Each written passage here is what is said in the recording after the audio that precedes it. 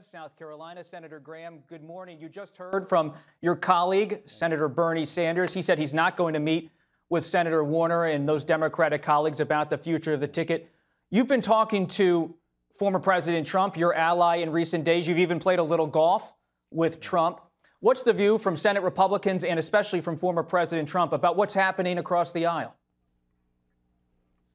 Well, I think most of us are, are concerned of the national security implications of this debate about uh, President Biden's health. Bernie Sanders' problem with Biden is he's not liberal enough.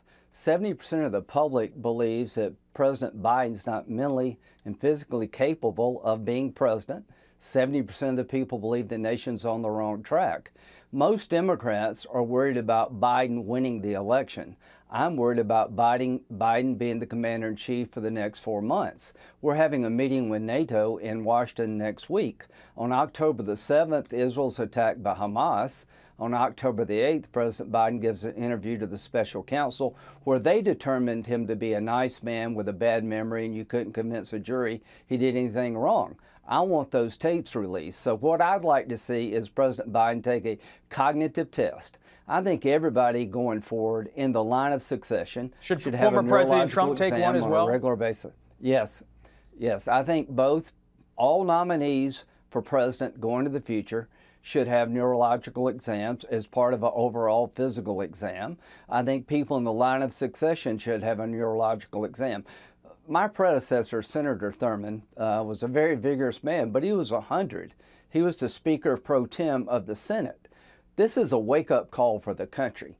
We need to make sure that the people who are going to be in the line of succession are capable of being commander in chief uh, under dire circumstances. Here's what I worry about that our allies see a compromised Joe Biden, that our enemies see a compromised Joe Biden, and I'm offended by the idea that he shouldn't take a competency test given all the evidence in front of us.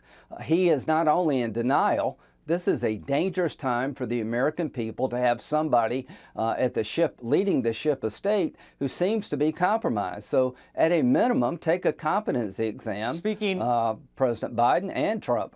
Speaking of a wake up call, many Democrats are alarmed at what the Supreme Court did this past week in terms of ruling on presidential immunity, saying that presidents effectively have immunity when it comes to official acts. You are very close to former President Trump. This is someone who pushed to overturn the election in late 2020, early 2021. He pushed officials who were working in an official capacity, like then Vice President Mike Pence, to the brink in terms of how to use their official powers. How will Trump use power in a second term? in the wake of this Supreme Court ruling? Well, you're going to have the NATO uh, uh, uh, leader on next. I think what President Trump will do when it comes to NATO is pick up where he left off. Pay more. Uh, about 18 members of NATO pay the 2% required. Sam Nunn had a proposal in 1986. But I'm talking about, Senator, how he's going to um, use power inside the White House I, and the administration. I, I think he's going to use power to get NATO to pay more. I think he's going to secure the border by using executive action. I think he's going to be a damn good president to right the ship. I think he's going to open up America to oil and gas exploration. I think he's going to do undo all the problems created by uh, Biden. The question is, will it be on a revenge tour? He's going to be on a success tour.